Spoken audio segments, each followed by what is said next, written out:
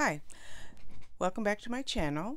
This video is for a book review for The Liar's Child. I, I have talked about this book on my channel, whether it was in a wrap-up or even when I was doing my whipping chat, but I do hope to continue to make individual videos for book reviews as much as it is reasonably possible. So, what is it about the liar's child? Who is the liar and what child is involved? Well, the way I start my book review, my written review, is secrets can erode the best of relationships, especially marriages. And in this particular case, we have a married couple named Kay and Matt. They were in love, very happily married as far as things looked on outward appearances. However, Kay has started to become disenchanted in her marriage. She sees a message on Matt's phone that leads her to believe that he's cheating on her.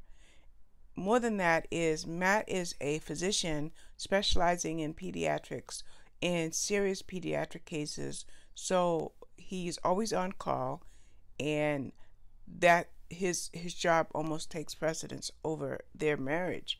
So Kay begins to wonder is all the time that Matt's spending away from home time that he's being with another woman, especially in view of that message that she saw on his phone. Then we have the couple's child, Poppy. I think she was five years old. Poppy had a serious disease. She has renal disease or kidney failure. And at some point, Poppy is going to need major surgery. So Matt and Kay should be spending their time focused on little Poppy, but instead their marriage is a little bit shaky. As a matter of fact, the marriage is so shaky that the communication has completely evaporated between them, if I can use that word. Now, Poppy should be worried about being a little happy five year old, but she knows she's not well, and she worries that her parents are worried about her. In her little mind, she knows how to worry about that. What's more is Poppy can kind of sense something going on between her parents. How and then there's another layer to the story, a very serious layer to the story, is Poppy didn't like going to school. She didn't like it. Well, she found a friend at school that completely changed her a- attitude about school. She was excited to go to school every day, excited to get up every morning, and the reason why is she developed a new little friend named Olivia or Liv, and they became fast friends. They they just were two peas in a pod. And that is literal.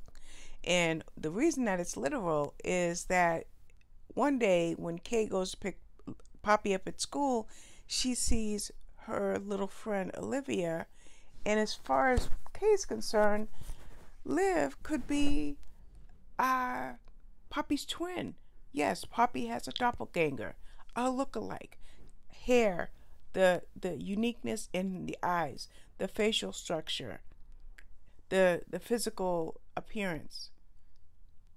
So remember, Kay is suspecting Matt of cheating on her, and now she sees what could very well be Poppy's sister, and now she's sure that Matt has had an affair. The question is, with who with whom and how long. How long has Matt been cheating on her? So instead of worrying about Poppy and her health or how Poppy will do, now Kay is worried about the fact that she's got to prove that Matt is having an affair. Now, what you have here is a web of secrets, but it's more than that. There's obsession that comes into this story. And how is it that who is it is the liar? Remember, the book is called The Liar's Child. So, who is it in this story that's the liar? And when you read the story, if you're like me, you're going to be guessing as you get through the story. Well, guess what? I was wrong. I guessed wrong. Now, while we have Matt and Kay having their problems, Matt's brother Jason is in the story. And that adds another layer. So you got Matt and Kay in their marriage. You got little Poppy being sick. You got Poppy who has a doppelganger. Then you have the lack of communication between Matt and Kay, which I know goes with the first point. And now you have Matt's brother Jason. So how does all this come together? How does it piece together? And who is the liar in the story? It's a convoluted story, most certainly, but it's very, very well executed. Excellent, thrilling story. Uh, everything came together, and it was just a really, really good story. And I was so riveted to this story that I ended up being completely shocked as to who was lying in the story. So that is The Liar's Child by Sheryl Brown. It's a Bookouture title. As a matter of fact, I have so many Book of Bookouture titles that the majority of my book reviews over the next couple of weeks will be from the Bookouture publisher who is based in the UK.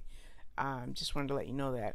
I will link the uh, Amazon, uh, I will put the Amazon link in the description below. And as an Amazon affiliate, yada, yada, yada, FTC. Um, but I also will try to link my uh, video, excuse me, my blog post in this video. But that's it, The Liar's Child by, by uh, Sheryl Brown. Hopefully you'll grab this book and enjoy it as much as I did. All right, bye-bye.